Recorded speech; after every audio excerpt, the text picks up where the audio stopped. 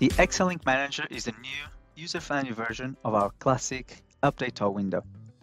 It offers more ways to search, filter, and update Excel data in PowerPoint decks. There are two new ways for you to view your links. You can view them by slides or by sources.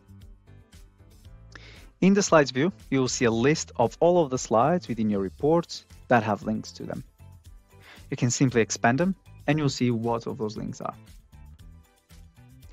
You can simply select one of them and Upslide will highlight it for you on your report. In the sources view, you'll be able to see a list of all of the workbooks that are linked to your current report. You can simply expand them to see what tabs are linked.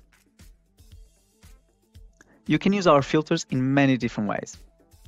Let's say that you are working on a report with a lot of different teams, but you are only responsible for a specific section in that report. You can simply select this section filter, and let's say I wanted to filter by executive summary. You'll be able to see all of the slides within that specific section. I can then simply select all of them and press the update. Another one that I find super useful is our last update, where you can filter all of the links that haven't been updated in a specific time frame.